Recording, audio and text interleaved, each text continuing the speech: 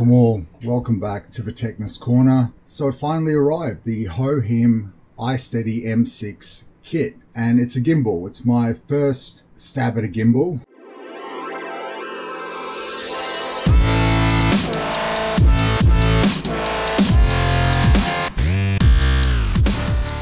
Um, at least magnetically motorized per se, should I say. And yeah, she is a doozy from my understanding. I shizen you not. Like what I've been using essentially is this little thing. These don't knock them till you try them. 450. Yeah, that's been doing the job. But I've got myself a new phone. It's actually, if you have a look, what we've got over here what we got here is the gimbal attached to the Samsung 23 Ultra.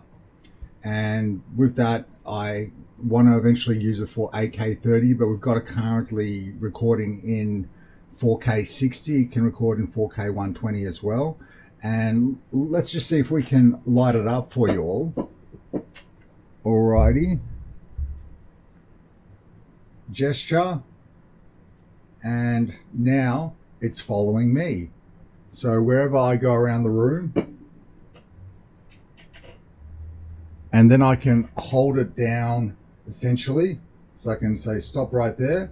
And I'm going to bounce to the camera feed on the gimbal itself so that you lot can see what's actually going on. So again, I'll just gesture and bang, it's off to be moved. So we've got this neat sturdy case over here if I can just reach for it. And this was inside the iSteady M6 box per se. And yeah, it came with everything inclusive except for the elongated, should I say, elongated stand, which was also extra, and as well as the so I'll grab it from over here so that you lot can get a better feel for it.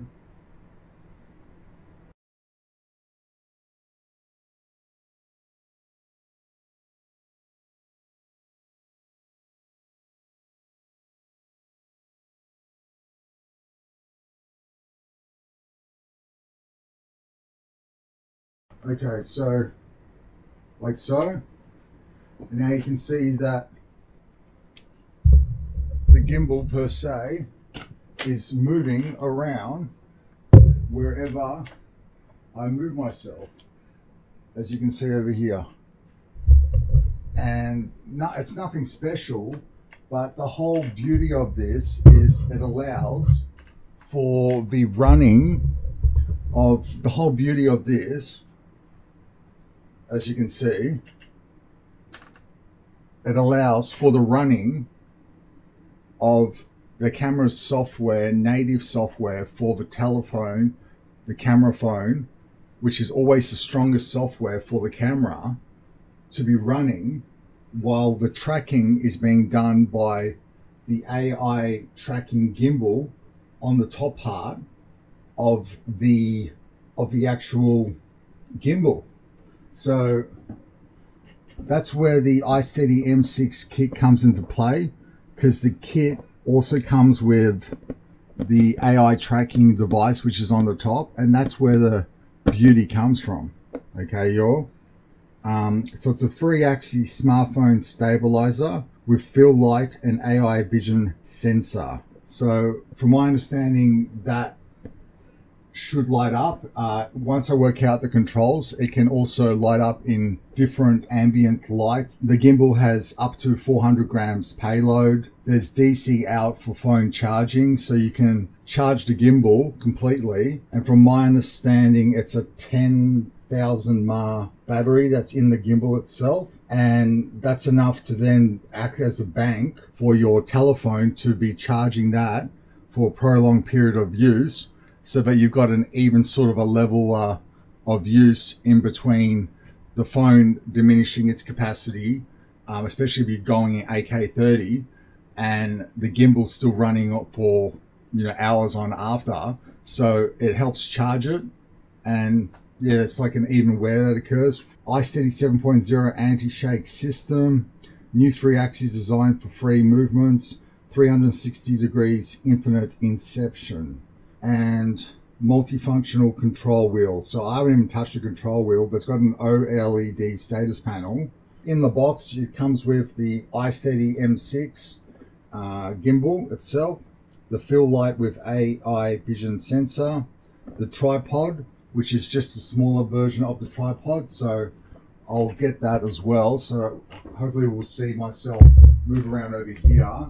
You have to be fairly, you know, like it's smooth, but you want to make sure that you don't freak it completely out. So, like in relation to where you're, if you take it on a full on angle, I think I don't have it completely set up properly. Here's the standard standard uh, tripod, which mounts to the bottom of it. It also acts as an additional holder for it. So you get that as well. You also, I, with the kit, with this kit, I got a remote control, but as you can see, if we move this over here, we just hold it there, it will just stop now by just putting, by putting a hand movement up. And if I go like this, it just, it, it activates it again. So it's very receptive. It only seems to be receptive to a human head, um, one frame at a time. Okay, so a couple of heads and it'll sort of go wish-washy um, and get a bit confused. Um, I'm hopefully there's ways of tweaking this, but I'm going to stop it right there. Actually, let's move it. Let's move it over here, and then just like there. There we go. Now you can see me from both angles. But with that being said, uh, you also get the storage bag. You get a USB-C charging cable, which is USB-C to USB-A. Then you get a Type-C to Type-C charging cable, which is for the gimbal to phone, if you've got a Type-C connection to your phone. Uh, a, a, very hefty user manual. And on top of that, um, you also get, which isn't in, which isn't disclosed, you get a Type-C to Lightning, which it actually says you have to purchase separately. So I lucked out with that, I guess, because I got the full kit in essence. You sort of have to be in front, you have to be framed in the center of it.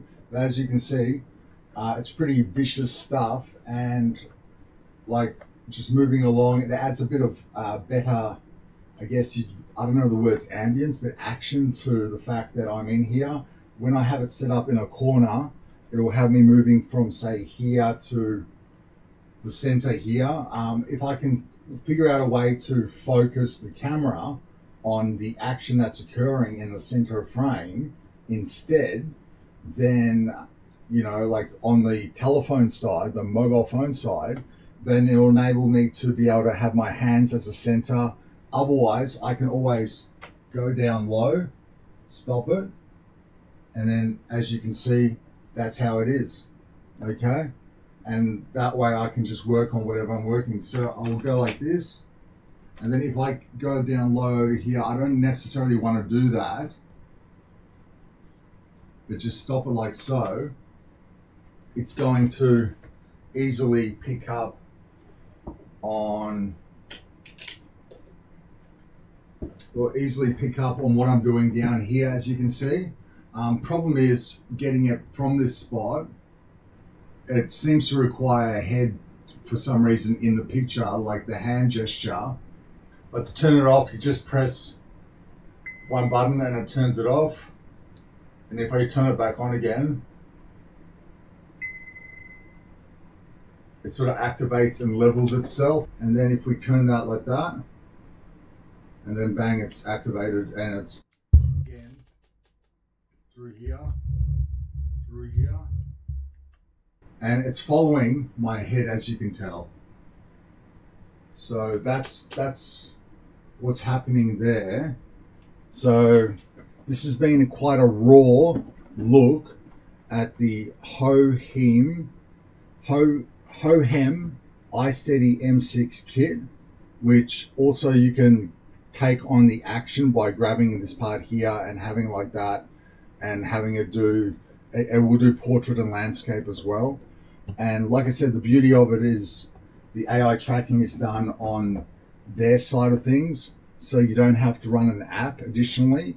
Um, there is an app that you can use that'll do some other stuff, whatnot, but you don't need to run that app, and all your resources can be dedicated to the camera's native software. And as a result, you get the best picture clarity and the best tracking ability that this device can produce. Not for the faint-hearted, the uh, cost of it, about 300 Australian dollars you're going to be paying for the full kit, 350 odd dollars for the full kit, including the tripod, the remote, which I'm yet to utilize, as well as the extended tripod, the miniature tripod, and everything else as inclusive.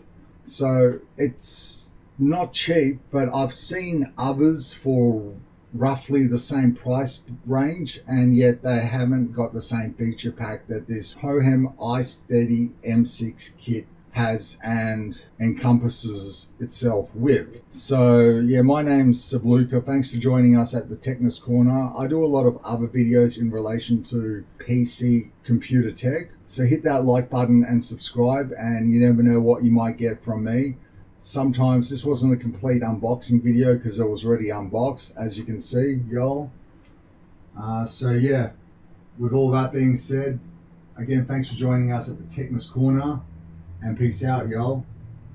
Bye.